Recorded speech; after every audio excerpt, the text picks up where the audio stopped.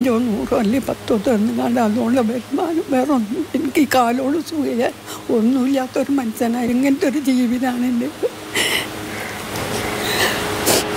നിരവധി രോഗങ്ങൾ അലട്ടുന്നുണ്ട്. ഒറ്റയ്ക്കാണ് വാസം. പ്രതിസന്ധികളേറെയുണ്ട്. അതിരട്ടിയാക്കിയാണ് പാത്തുമ്മയ്ക്ക് കഴിഞ്ഞ അഞ്ചു മാസമായുള്ള വിധവാ പെൻഷനും മുടങ്ങിയിരിക്കുന്നത്.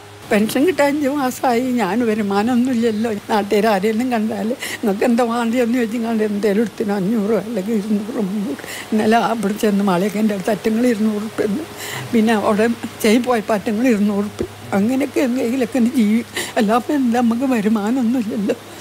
പെൻഷൻ തുകയിൽ നിന്നാണ് മരുന്നും ചികിത്സയുമെല്ലാം നടന്നു പോയിരുന്നത് ഇന്ന് അയൽക്കാരുടെയും സുമനസ്സുകളുടെയും സഹായം കൊണ്ടാണ് ഉപജീവനം. അവകാശങ്ങൾക്കായുള്ള പോരാട്ടത്തിനൊന്നും പാത്തുമ്മയില്ല. ഒരേ ഒരു ആശ്രയമാണ്. അതുടൻ ലഭിക്കണമെന്ന് മാത്രം. വാക്കുകൾ ഇടറി പോകുന്നുണ്ട് പാത്തുമ്മയ്ക്ക്. ആകെ ലഭിക്കുന്ന ആയിരത്തഞ്ഞൂറ് രൂപയായിരുന്നു. അതിൽ തൃപ്തിയായി ജീവിച്ചു പോരുകയുമായിരുന്നു. എന്നാൽ ആകെയുള്ള ആശ്രയം മുടങ്ങിയിരിക്കുന്നു. ഇനി എന്തെന്ന ചോദ്യം ജീവിതം ബാക്കിയാക്കുമ്പോൾ വ്യാകുലപ്പെടാതെ വയ്യ. ഇനിയെങ്കിലും കാണേണ്ടവർ കണ്ടേ പറ്റൂ. അരുണമൃതനാഥ് മാതൃഭൂമി ന്യൂസ് മലപ്പുറം.